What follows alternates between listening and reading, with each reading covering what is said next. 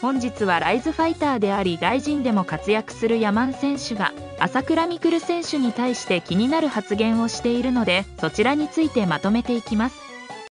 ヤマン選手と朝倉未来選手は以前から YouTube にてコラボを行うなど仲睦まじい姿を覗かせておりヤマン選手が MMA の練習をトライフォース赤坂にて行い朝倉未来選手に対して教えを請う姿もメディアにて取り上げられておりました。そんな中朝倉未来選手は9月30日青汁王子こと三崎優太氏の YouTube チャンネルに出演しその中で格闘技1本で行わないのですか？との質問に対し確かに皆さんが言うように格闘技の強さだけを追い求めるなら俺自身も格闘技1本に絞った方がいいと思っています。間違いなくそれはそうだと思いますね。でも今の僕の立ち位置では格闘技1本に絞ることはできません。僕は雷神に参戦した初期の頃にインタビューで世界一強い選手より世界一稼げる選手になりたいと言ってるんですよ。だからもともと皆さんが言うように格闘技1本で強さだけを求めるのとは思考が違いますね。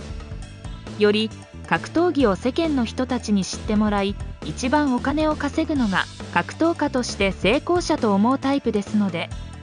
この考えは選手のみならずファンの皆さんで考え方もそれぞれ違うと思いますので本当に世界最強の UFC で王者を目指すなら皆さんが言うように格闘技1本でやっていった方がいいと思いますね。だから皆さんが言ってることは正しいと思いますよ。ファンの人の意見の中で朝倉未来は才能があるからもったいないって言ってくれる人もいるんですけどそういう人たちからしたらビジネスをやるより格闘技に1本で絞ってほしいという意見もあるんですよね。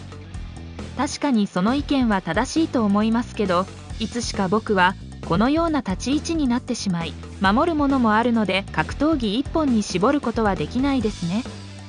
などと語り格闘技1本で最強を目指した方がいいとの声に対してこの意見は正しいとしつつも自分の立ち位置では守るものもありそれはできないと自身の胸の内を明かしております。この発言から3日後10月3日ヤマン選手はツイッターにてトライフォース赤坂にはもう行かないと思う。朝倉未来が負けたままそのまま終わるようなダサい男だとは思ってなかった。そんな人から教わることはもうない。などとツイートし練習も共にしブレイキングダウンでも関わりのある朝倉未来選手に対してダサい男教わることは何もないと痛烈な発言を行っております。このヤマン選手の発言に対してファンの中では第2次格闘技ブームを巻き起こしたうちの一人で結果的にあらゆる人から恨みや反感買ってしまう状況がファンとしては死ぬほど苦しいけどミクるならこの状況も覆すって信じてるわ。そのまま終わることはないと思うけど雷神のベルトは諦めてるっぽいね。自分が試合するより周りに試合させて金稼ぐ方が効率的らしい。ガチで言ってるのであれば最高にかっちょいい。でもまたブレダウに関わるようなことがあったら最高にダサい。などさまざまな意見が飛び交い物議を醸しております。注目の集まるヤマン選手と朝倉未来選手の今後の行方はどうなるのでしょうか。